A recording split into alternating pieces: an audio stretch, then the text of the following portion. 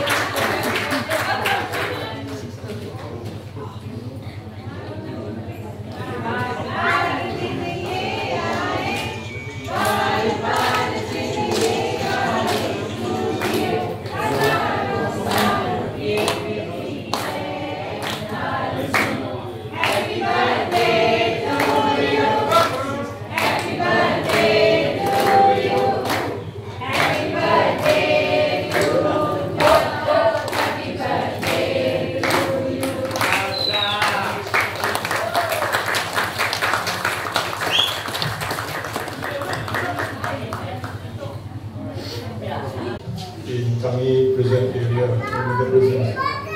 Um, as you all know, he's a very jolly man. Not many people are able to do the job that he did. It requires special qualifications. Qualification in the sense that as a person, he's very strong character, very sensitive, but at the same time, he has helped a lot of people get over difficulties, which I don't think everybody can do. And I'm referring to the people in uh, the death row. Uh, I think that requires a lot of techniques, which he has. Um, it has kept him very. He done a lot of work which uh, is invisible, which you don't see written anywhere or spoken about anywhere because of the nature of his work. I think it's one in a million, you know, one in many, many millions, right? I don't think you can see such a colorful character for a very, very long time. I'm sure my colleagues there are also colorful characters. You can't see them for a very, very long time. so I thank you for the privilege, for the opportunity to come here to say a few words. Um, I end with a song, a simple song, and I say, for he is a jolly good fellow, for he is a jolly good fellow, for he is a jolly good fellow, and so says